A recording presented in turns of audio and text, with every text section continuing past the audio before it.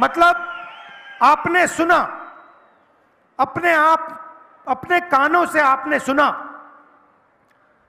आजकल नरेंद्र मोदी के इंटरव्यूज़ चल रहे हैं।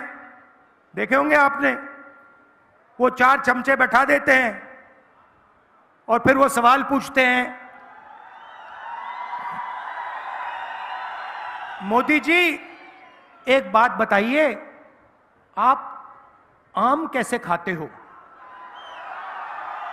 आप क्या उसको छील के खाते हो? या चूस के खाते हो? मोदी जी जवाब देते हैं,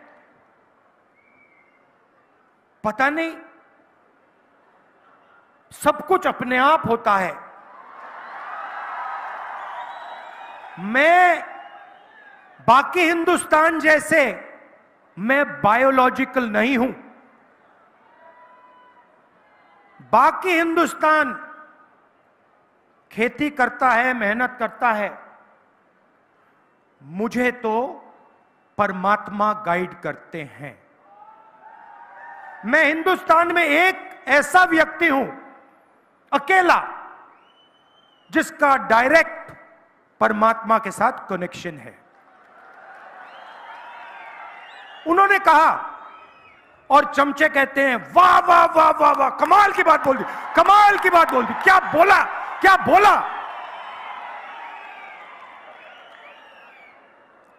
मतलब एक व्यक्ति जिसको डायरेक्ट परमात्मा के साथ कनेक्शन है, उसको इसकी क्या ज़रूरत?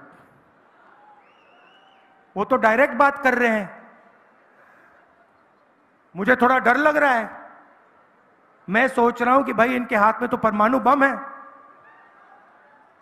और मैं उनसे पूछना चाह रहा हूँ, नरेंद्र मोदी जी, जो ये आपको फीलिंग आती है, क्या ये सुबह आती है, शाम को आती है, या 24 घंटे आती है?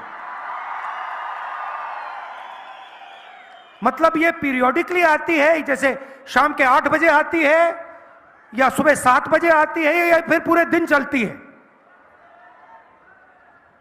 अलग अलग बीमारियाँ होती हैं।